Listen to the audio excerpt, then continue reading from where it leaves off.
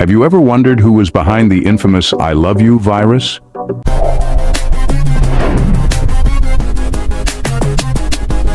This digital menace, also known as the Love Bug, made its debut on the 5th of May 2000, and in no time it was wreaking havoc on over 10 million Windows computers worldwide. This was not a small-scale operation, it was the work of a mastermind, a man named Onel de Guzman from the Philippines. A computer programmer by trade, de Guzman crafted this worm with such precision and ingenuity that it spread like wildfire, causing significant damages estimated in the billions of dollars. The I Love You virus was not your average worm. It exploited vulnerabilities in Windows systems and Microsoft Outlook, spreading rapidly through email networks. It was the digital equivalent of a pandemic, infecting every system it touched and leaving digital chaos in its wake. But what was the motive behind such an act of digital disruption? It turns out, de Guzman had a unique belief. He saw internet access as a basic human right, and he intended to steal passwords to access the internet without paying. It was a radical idea that led to a catastrophic outcome. This incident did not go unnoticed. De Guzman, along with another programmer, Reonel Ramones, faced a criminal investigation by the Philippines National Bureau of Investigation the fallout from the I Love You virus was so severe it led to the enactment of the e-commerce law in the Philippines, a law designed to deter similar activities. In the heart of this digital chaos was a man named Onel de Guzman. Who exactly is this Onel de Guzman, the man behind the infamous I Love You virus? Let's journey back to the Philippines of the late 90s, where a young man named Onel de Guzman was nurturing his passion for computers. Raised in a modest neighborhood in Manila, de Guzman's fascination with technology was apparent from an early age. This interest would later lead him to pursue his studies at AMA Computer College, where he would delve deeper into the intricacies of computer systems and networks. But it wasn't just a love for computers that defined de Guzman. He was also known for his strong beliefs, particularly when it came to the issue of internet access. To de Guzman, internet access was more than just a tool or a luxury, it was a fundamental human right. This belief would later become a driving force behind his notorious creation. At the time de Guzman was studying and formulating his ideas, the Philippines was somewhat of a wild west when it came to cybercrime. The country had no legislation against such activities, meaning that individuals like de Guzman could experiment and push the boundaries of what was possible without fear of legal repercussions. This lack of regulation created an environment where the creation of something as destructive as the I love you virus was not just possible, but in some ways inevitable. But what could possibly motivate someone to create such a destructive piece of code? That's a question we'll dive into in the next part of our story. Stay tuned as we explore the motivations of a virus creator.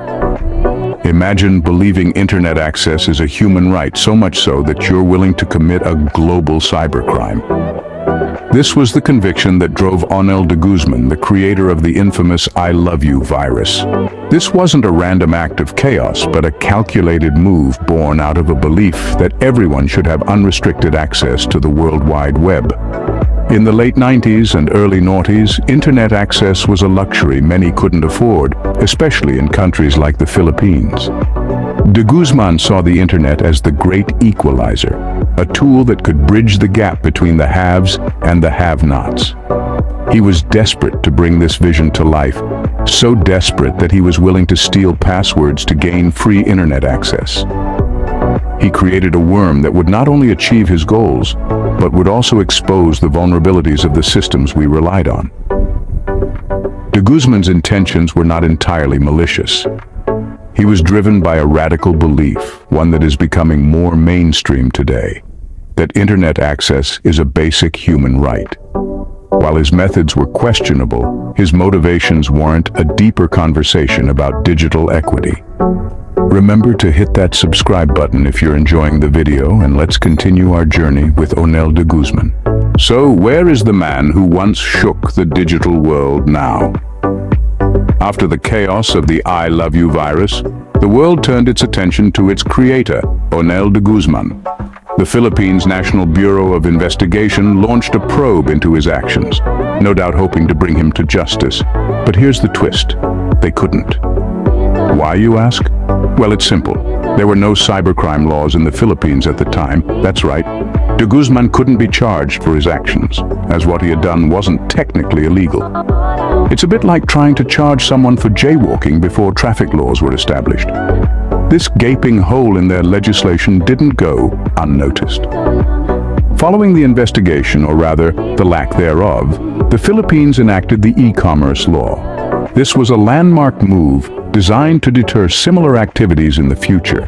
It's a bit like shutting the barn door after the horse is bolted, but at least it's shut now. So what about de Guzman?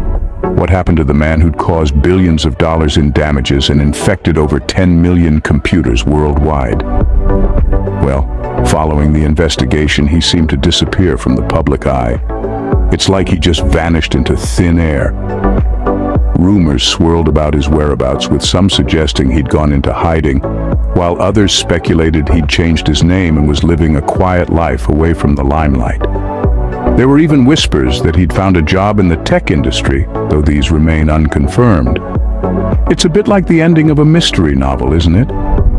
The protagonist fades into the background, leaving us with more questions than answers. But maybe that's fitting for a man who once held the digital world in the palm of his hand. Onel de Guzman, a name synonymous with one of the most infamous viruses in history, has faded into obscurity. What can we learn from the I Love You virus and its creator, Onel de Guzman? This question leads us down a fascinating path of discovery, one that reveals the importance of cybersecurity, the impact of cybercrime, and the legislative changes that the incident prompted. The I Love You virus was a wake-up call for the world. It showed us just how vulnerable our digital systems were and still are. It underlined the need for robust cybersecurity measures. In an age where our lives are increasingly digitized, the importance of protecting our digital assets can't be overstated. The virus also highlighted the devastating impact of cybercrime. It's estimated that the I Love You virus caused damages in the billions of dollars. That's a staggering figure, and it demonstrates just how costly these cyber attacks can be. It's not just about the financial loss either. The virus disrupted lives, stole personal information, and caused widespread panic. The incident also prompted changes in legislation. In the aftermath of the I Love You virus, the Philippines enacted the e-commerce law to deter similar activities. This was a significant step forward in the fight against cybercrime. It showed that governments were willing to take decisive action to protect their citizens in the digital world. But what about the ethical implications of de Guzman's actions? He believed that internet access was a human right and created the virus to steal passwords for free internet access.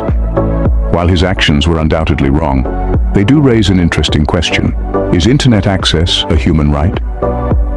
This is a debate that continues today, with many arguing that access to the internet is essential for participation in modern society. In the end, the I Love You virus serves as a stark reminder of the digital world's vulnerabilities and the importance of cybersecurity. It's a lesson we must all take to heart. As we navigate the digital world, let's remember to protect ourselves and our digital assets. Let's be vigilant, be safe, and be aware of the risks that come with our digital lives. Don't miss out on future explorations and discoveries. Hit subscribe and ring the bell to stay updated with our new content. Your journey of wonder continues with every video. Stay connected and engaged on social media. Continue the conversation, follow us. Thank you for being a part of the Have You Ever Wondered community. Keep wondering, keep discovering until next time.